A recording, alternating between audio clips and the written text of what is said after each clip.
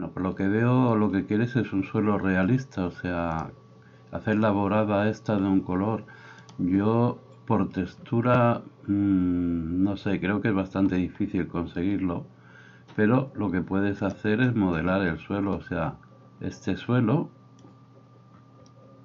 este es el render, o sea, eh, modelar, pues, modelar lo que es el suelo por baldosa por baldosa. Entonces, a ver vamos a hacerlo de cero. Creas el suelo por ejemplo el suelo. Mes plane.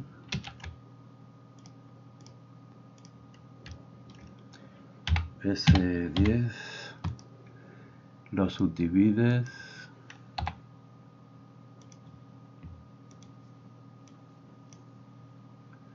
Bueno, vamos a dejar así, aunque puedes hacer más o menos lo que quieras o subdividir más. O luego a lo mejor utilizar arrays, o sea, haces una parte, dijésemos, de 8 baldosas y luego le haces un array para que se vayan sumando, dijésemos. Esto ya depende de ti. Primero, antes que modelar, se controla aplicar la escala. Esto siempre vale y tal como está, un control más B y mueves el ratón. Y entonces aquí tienes varias opciones. Dejar la línea simple o con rueda de ratón subirla y te, irá subiendo líneas. Yo dejaría 3 mm, para perdón me ha ido. O sea control más B eh, rueda de ratón y dejas 3 y aquí aprovechas para hacer la selección de caras que sería control y la contraria. Vamos a ponerlo de lado para que se vea.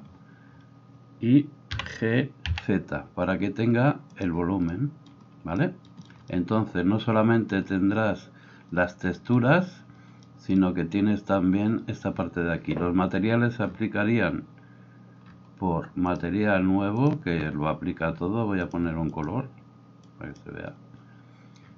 Vale esto sería un color para todo. Y ahora una segunda textura material donde sería más eh, control y para invertir la selección nuevo y este blanco por ejemplo. Asignar.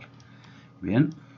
Entonces tendría ya esto como digo, puedes hacer una parte o luego por arrays o luego duplicarlo si quieres manualmente, eso ya se puede.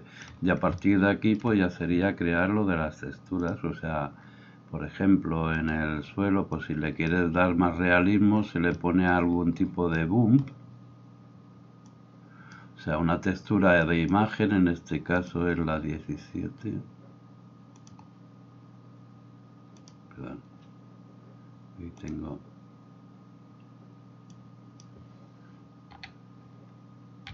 esta imagen, por ejemplo, eh, con mapeado V.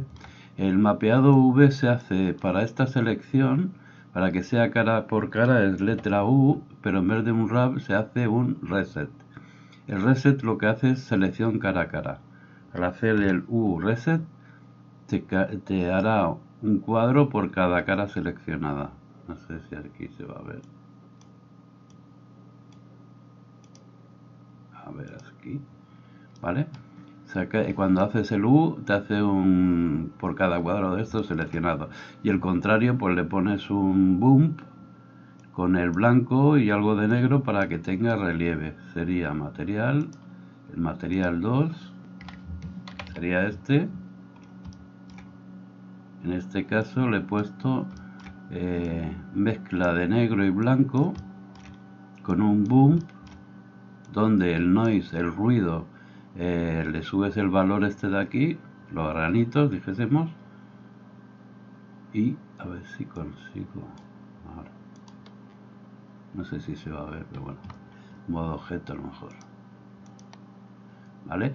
Donde este granulado, al darle un poquito de volumen, también te dará un poquito más de realismo. Pero ya digo, esto si buscas realismo extremo ya,